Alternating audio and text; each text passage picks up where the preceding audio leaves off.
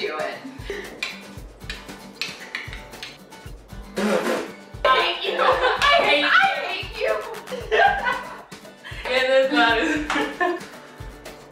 this is the great thing about editing. This is Molly, she is a girl. She knows nothing about the world. So come on, yeah, let's take a stroll. It's Molly the Millennial.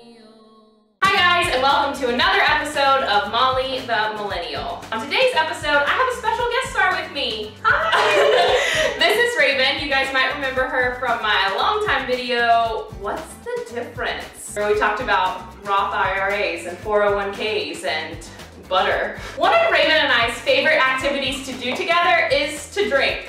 We like it. So today, we are going to step up your drink game.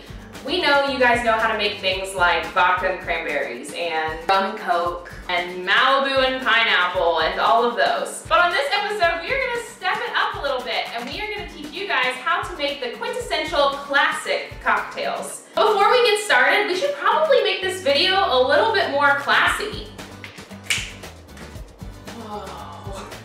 Anyways, enough talking. In the wise words of Pink, let's get this party started. the first classic cocktail that me and Raven are going to teach you guys how to make is a classic martini. And the things you will need for a classic martini are Vodka, dry vermouth, martini glasses, Got these from Goodwill, you guys. a shaker with ice, olives and olive juice. We have a little measuring cup. You could probably use a shot glass though, right? Yeah, so in, in bars and things they use jiggers, but I couldn't find one of those, so I just got a um, measuring glass that measures in ounces. And toothpicks.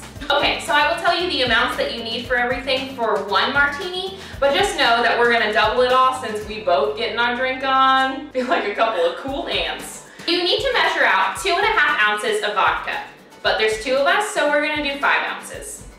That's this whole. Listen, I can tell you I've never poured this much vodka into a container in my entire life. I definitely have. So pour that in your shaker with the ice. The next you'll need to put your dry vermouth in. Now there's a couple different ways that people get their martinis, and a lot of it is dependent on how much dry vermouth you like in your martini. For me and Raven's martini, we're just gonna do regular, the amount of vermouth that they told us to do in the recipe, which is 0.5 ounces of dry vermouth per martini.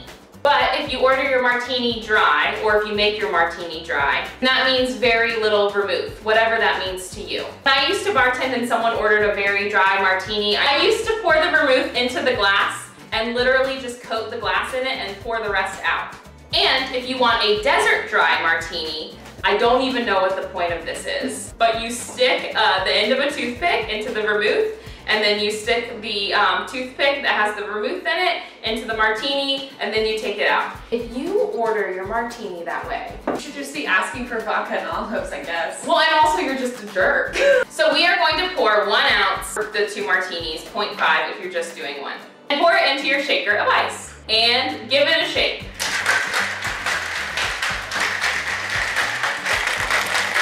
Strain it into your awesome martini glasses. And put a couple olives on a toothpick. Throw that sucker in your martini. Clink. Here goes. Here's. I don't really taste anything. Oh, yeah, me neither. So now we are going to make our martinis dirty, and you do that by adding some olive juice. Really, the amount that you put in there is strictly up to personal preference. She wants it to taste a lot like olives, probably to cancel out the vodka taste, which I understand. Um, so I'm gonna put uh, a substantial amount in there, but we both really like olives. So now we are going to taste our dirty martinis. Cheers. Still don't Nope, like it. it's still enough.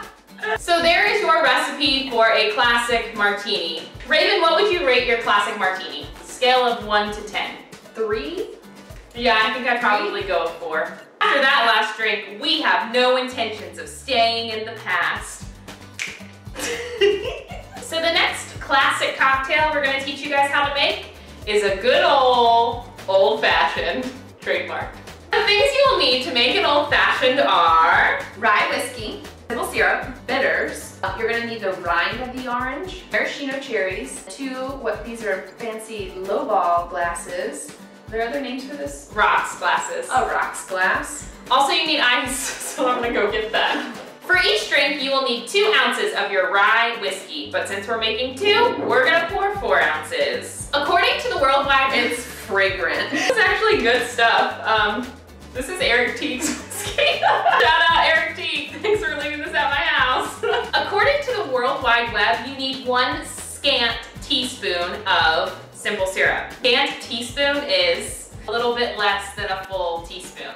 So take your one scant teaspoon simple syrup per drink and put it in there. Stir that around in there. Next, you're gonna do two to three dashes of bitters per drink according to what you like.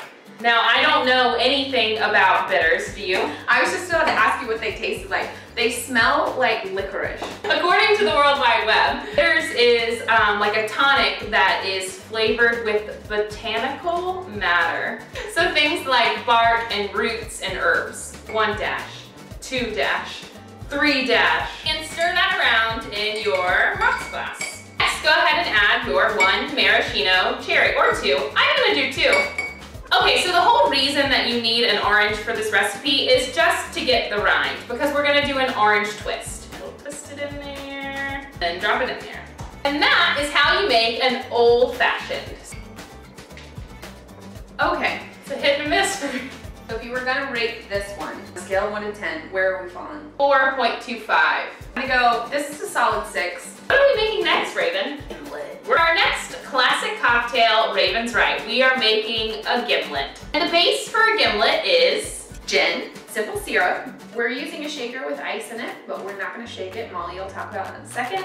Limes. And yeah, you'll need to juice your lime. So that's what we're gonna do first. So you need three quarters ounce lime juice per gimlet. So we are going to squeeze an ounce and a half out of these bad boys. Notice Molly is rolling her fruit before she slices it. That really helps get all the juices to come out when she juices it.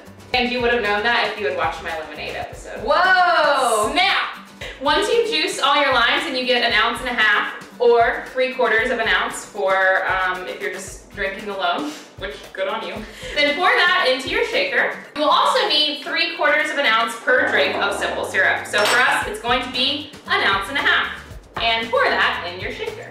Is there a chance that somebody doesn't know how to make a simple syrup?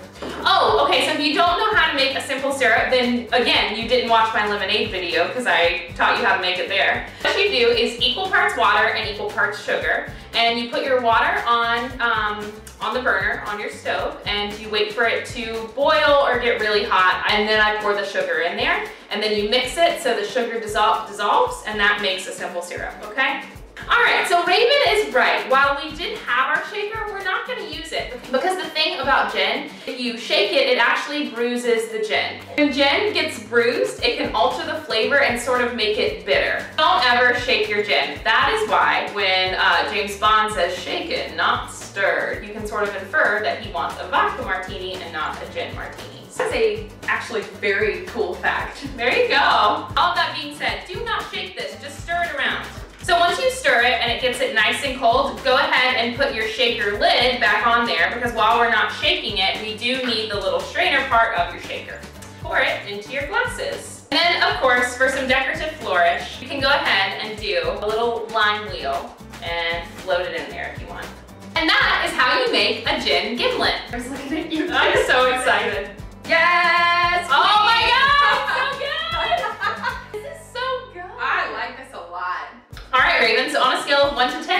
feel about this drink? Honestly, I feel like really strong about this. This is like an eight or nine. This is a solid eight for me, I think. Yeah. Well, there you go, all you millennial losers. Or boozers.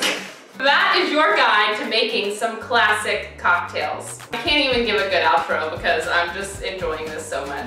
Raven, thank you for joining me. I'm always here to drink the drinks. All right, guys, you're the best. I'll see you next week. Bye.